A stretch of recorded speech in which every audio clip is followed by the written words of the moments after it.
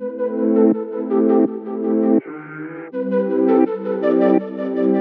up guys, Shevon here back with a new video. And if you guys didn't know I love playing video games especially like Fortnite, FPS games, Call of Duty, Apex Legends and this is why I decided to pre-order the PS4 back button attachment and I ordered it pre-ordered it on Amazon because everywhere was pretty much sold out.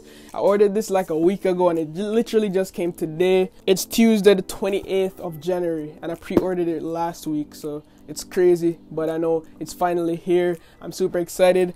Let's jump into the box and see what we get. Okay, here we go. Always cut away kids. Definitely not what I'm doing right now. Ugh, the box is super light as well. Okay, there we go. Oh, the box is so small. Like, whoa. I didn't expect it to be this small. Like, it literally fits in the palm of my hands. But this is the box. You have that PS4 Dual Shock back button attachment, blah blah. It's in French because we speak French in Canada as well. That's so cool. On the side, it just says DualShock 4 back button. On the back, it has all the instructions. It says we have two programmable back buttons. Can map up to 16 different functions. It comes with an OLED screen, which displays the current button assignments. You have the screen buttons, and also a stereo headset jack because it will be plugged into the headset jack. So if you guys didn't know, I use a SCUF controller. This is like my main controller, and I use this because it has these back buttons, right? And I use it, it comes with four, but I just took out one and now I'm using three. This is my original PS4 controller, and the reason I don't use this anymore is because I needed the back buttons. But this is where this come in place.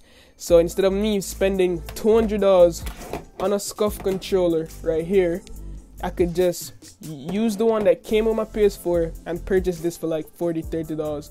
So that's pretty much what Sony doing right now. I don't know why they choose to do it now when the PS5 is almost out, but at least it's here. So important read first, okay? Notes for a successful setup. It's telling us that we need to turn off our controller, blah blah blah pretty simple.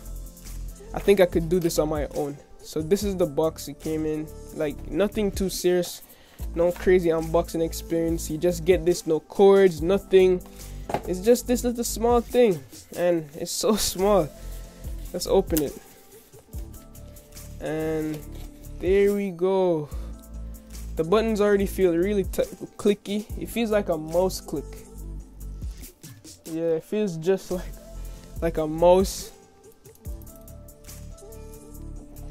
It has that same feel. That's the first thing I thought of. I don't know why. So this is it. The OLED screen. Let's peel that off. And let's attach it to our controller. So typical DualShock 4 controller.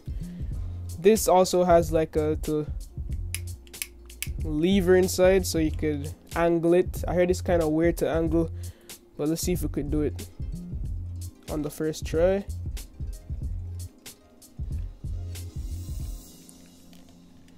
Let's try to push it in. If I could do this, anyone could do this. Okay, there we go. That was pretty easy, and it just it looks like it was made for. Well, obviously it's made for it, but it looked like it came with it. You know, like this, it just looks normal. Hmm, it feels good. I like it. Holy shit. Actually, like how it feels. I like this. No way. Alright, let's try to turn it on. Or oh, probably need to turn on our controller, obviously. Oh my god. And there we go. So we have that OLED screen. It's kind of dull. I don't know why. Or you could actually press this button. So right now, this is mapped to X and this is mapped to O. So if we hold it down, we could just literally just change right from here. So you hold down once and you could map this to whatever you want. I would want my left one to be mapped to X, yes. And right one, if you want to change the right one, just go ahead and change it to like box or square. And if you want another profile, you double tap, you go to the second profile, and you could change that to whatever you want. So you could literally change it to any face button or triggers, which is limited with the SCUF. With the SCUF, you can't you can't map the back buttons to the triggers. It's also super easy to do it with this because you have this instead of using the magnet that comes with the SCUF but that's just not we're not doing a comparison video. That would take too long. But i was just saying that if you want to mess around with stuff you have to see the light blinking. Once that blinking so you want to hold down get it to start blinking then you could switch between profiles double tap you switch between profiles super easy. And the profile that I want to use is profile 1 if you want to change it just touch like that. It's super easy. And you could map it to whatever button you want. So that was cool and all. Now it's time for me to test it out to see if I actually like it in game. Okay guys so I'm now in game. And as you can see I have my back buttons. This is for X and this is for O so I use one to jump. So I don't have to be pre like pressing this to jump pressing like moving my hand to jump. I could just jump normally.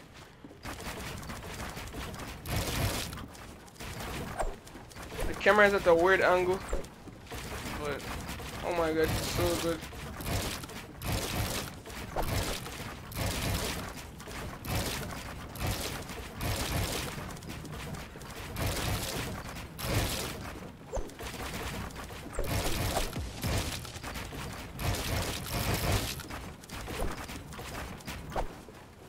it's kind of hard to show you and play at the same time. Sorry guys.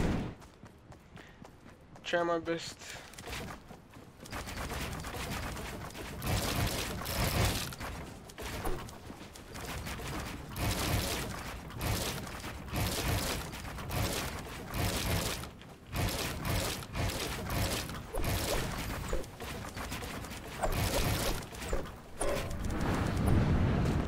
Okay guys, I just finished playing with this. I was just basically cranking in Fortnite. I didn't want to play any out of the games because they had to update and I was not trying to do that. But all I have to say is this is a must buy, literally a no-brainer. If you ever thought about buying a SCUF, you don't need to buy it. If you want four pedals, then maybe you'd have to go the SCUF route. But if you just need those two extra pedals, this is the by far the best one you could get for your PS4. It's made from Sony. It's a licensed product. It's so good. The buttons feel great.